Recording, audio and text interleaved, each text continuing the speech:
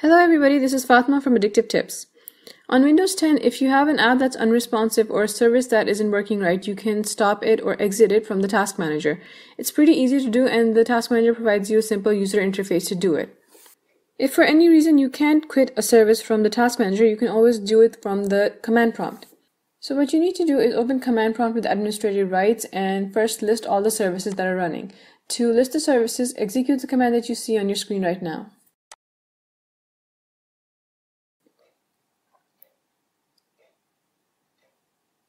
So from the list of services that are running, you need to pick out the name of the service that you want to stop and then execute the command that you see on your screen. Make sure that you replace the service name with the name of the service that you want to stop.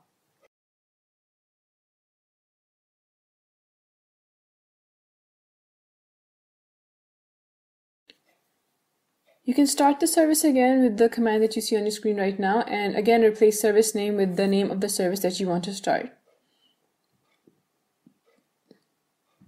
You can also combine both these commands into one. The syntax is on your screen right now. You have to replace service name with the name of the service that you want to stop and start again. If you simply want to know whether or not a service is running, there's a command for that. Execute the command that you see right now on your screen and it will tell you if this service is up and running or not or if it's been stopped or disabled. That's about it. I'll see you again later with more tips and tricks for Windows 10.